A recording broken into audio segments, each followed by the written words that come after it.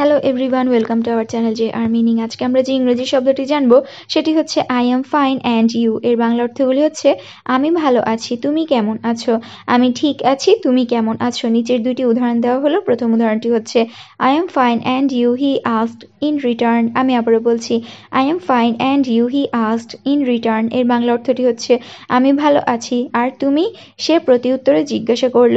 দ্বিতীয় উদাহরণটি হচ্ছে he greeted I am fine and you আমি আবারও বলছি she greeted I am fine and you এর বাংলা অর্থটি হচ্ছে, সে অভিবাদন করেছে, আমি ভালো আছি, আর তুমি? ধন্যবাদ।